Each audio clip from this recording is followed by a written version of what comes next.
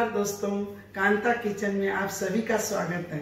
आज मैं आपको ये मैंगो स्टीम संदेश बनाना बता रही हूँ। मैंगो संदेश बनाने के लिए मैंने डेढ़ लीटर दूध का पनीर बनाया, एक आम का पल बनाया, जिसे मैंने आम का पल निकाल के गैस पे इसको गर्म करके इसमें दो चम्मच चीनी डाल के इसको थोड़ा गर्म किया, तैयार करके ये इस तरह से बन गया।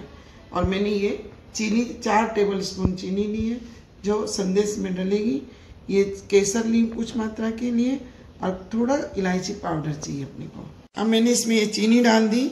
अब इसके अंदर ये पनीर डाल रही हूँ। इसको मैं मिक्सी में पीसूँगी। देखिए, मैंने मिक्सी में पीसने के बाद ये पनीर इस तरह से सॉफ्ट हो गया एकदम। अब मैं ये केक टिन को घी से ग्रीस कर रही हूँ। देखिए, आधा पनीर मैंने पहले इसके अंदर डाल दिया है। अब इसके ऊपर आम का पल लगाऊँगी। फिर मैं इसके ऊपर वापस पनीर लगाऊँगी। ये देखिए, इसमें आम का फल इस तरह से लगा दिया है। अब इसके ऊपर वापस वही पनीर जो आधा रखा था ना, वो लगाऊँगी इसमें। देखिए, अब मैं इसमें ऊपर ये पनीर का वापस एक लेयर लगा रही हूँ। ये देखिए, ये मैंने दूसरी वो मैंगो के ऊपर फिर ये पनीर की लेयर लगा दी है। ठीक है? अब मैं इसको स्टीम करूँगी। अब देखिए मैं इसमें केसर इलायची ये सब इस पे से डाल दूँगी। अब मैं इसको 15 से 20 मिनट स्टीम करूँगी, इस तरह से।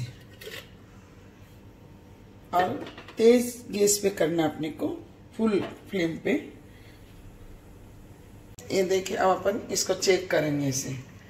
ये अपना हो गया देखिए, बिल्कुल चम्मच, ये चक्कू में बिल्कुल नहीं चिपक रहा है, इसका मतलब हो गया। स्पंजी भी हो गया एकदम।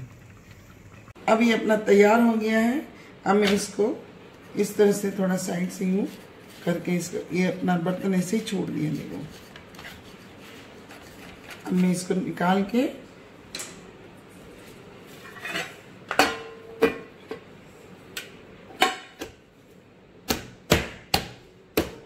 ये स्टीम से बनने के बाद जो मैंने फ्रीज में इसको आधी घंटा रखा, अब मैं इसके पीस काट के बताऊँगी आप। अब देखिए, ये ऐसे तैयार हो गया। ठीक है अब मैं इनके पीस निकालू ये देखिए, इस तरह से ये हमने मैंगो जो लगाया, इस तरह से हो गया। ठीक है? अब मैं इसके, इस तरह से इनको कट करती हूँ।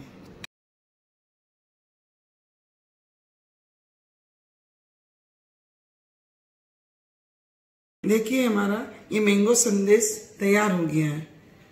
इसको मैंने आधे घंटा फ्रिज में रखा। ये जितना चिल्ड होगा ना, उतना ही खाने में टेस्ट अच्छा आएगा इसका।